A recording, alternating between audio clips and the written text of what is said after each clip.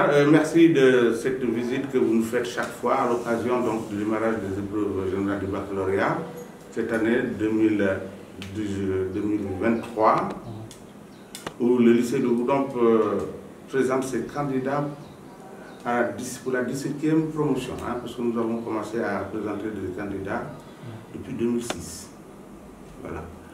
Alors comme euh, chaque année, nous prenons toutes les mesures adéquates pour que les candidats et tout ce qui tourne autour de la gestion de ces jurys, tout cela se passe dans de bonnes conditions.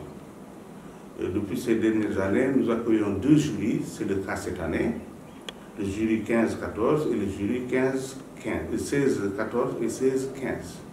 Les présidents de ces deux jurys respectifs se sont signalés depuis deux jours avant euh, cette date de démarrage effectif, de démarrage effectif. Et voilà, euh, nous les avons mis dans les dispositions pour que véritablement le premier travail soit fait. Le premier travail qui consiste à leur livrer, donc les livrer, pour me répéter, du baccalauréat. Ce matin, les candidats convoqués à cette tente ont répondu massivement, de même que les surveillants, même si on note euh, une ou deux absences qui sont tout à fait comblées, puisque euh, par, par, ci, il y avait au moins deux, par là, il y avait un peu plus de trois. Voilà, donc ces dispositions sont prises.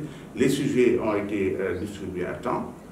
je rappelle que pour ce qui est des copies, les surveillants, les secrétaires des jurys ont l'habitude de la veille de prendre les devants, si bien que donc nous n'avons pas beaucoup de difficultés. Voilà, nous avons noté également des, des absences, 7 et 9, ça fait 16.